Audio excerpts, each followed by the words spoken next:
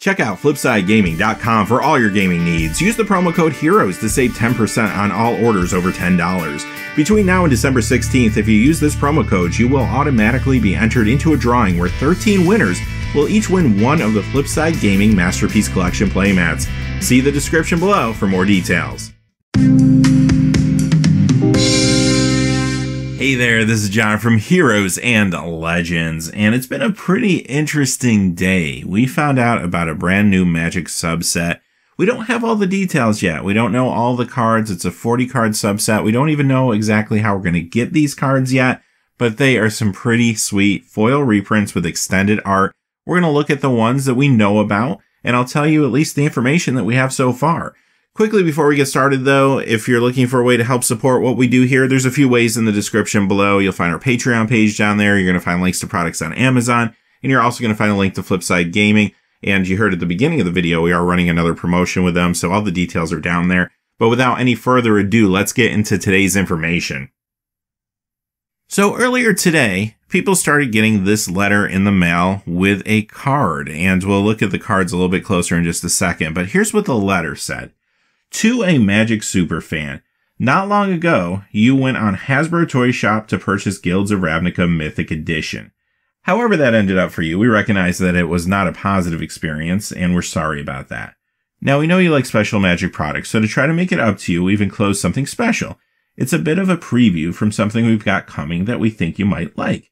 Feel free to take pictures of it, share it online, or just immediately stick it in your favorite deck or binder. Hopefully this puts a smile on your face, Sincerely, everybody at Hasbro and Wizards of the Coast. P.S. Wondering what this weird, cool, hopefully fun card is enclosed with this letter? Check out dailymtg.com. Now, right now, the early reports seem to be that the folks getting these letters are people that ordered one of the boxes from Hasbro's website. So if you ordered from Channel Fireball, for example, it doesn't seem like you're going to get one of these. Or if you failed to order because of some problem, it doesn't appear that you're getting these. But if you were able to order, Granted, I think everybody had trouble with the website, but if they do have your information through that order, then those seem to be the folks that are getting these letters, at least from what I've heard so far. So my assumption is we're going to learn more about the subset on Monday on the website. And right now, there's a lot of speculation. Will this subset be maybe part of a new master set? Perhaps in the early part of the year, we're going to get a new master set. And anytime you buy a booster box, maybe one of these will be enclosed. Or another theory is perhaps this is a new take on the buy a box promo. So you go to your LGS instead of just simply getting the buy a box promo card like we have been getting. Maybe you just get one of these packs and you'll find one of these extended art foil reprints. That would actually be kind of sweet, as a matter of fact, and drive more people to the game stores, which is important. So these are all theories, though. We don't know for sure exactly what these cards are or how we're going to obtain them but they do look pretty sweet. I will give them that. And many of them have new art. So before we get into the cards themselves, someone else did post a picture of the wrapper. There it is, Ultimate Box Topper. And it does say sealed product not for resale on it. And without any further ado, I know what you came here for. Here's the cards we know so far. Snapcaster Mage, it's got the original art, but looks really sweet with the extended art border. Temporal Manipulation is here. Bitterblossom with brand new art. And even though this isn't the best photograph of the card, I feel like the colors on this might actually pop and look really sweet. Demonic Tutor, another piece of brand new art, which looks amazing. Liliana of the Veil has the original art, but really happy to see this reprint. Reanimate. Now this one's got brand new art too, and just look at it. This is a good picture of this particular card, and you can see those little skeletons coming out of the thing's body. That's pretty awesome. Tasigur the Golden Fang, really nice painting there of Tasigur. I really like this one too. Balefire Dragon. Eternal Witness with new art. Life from the Loam with new art and very timely, very popular card this week. Leovold Emissary of Trest. Now this is the older art, but with the extended border, this looks really cool. Maelstrom Pulse. Sigarda, Host of Herons. Fulminator Mage with new art.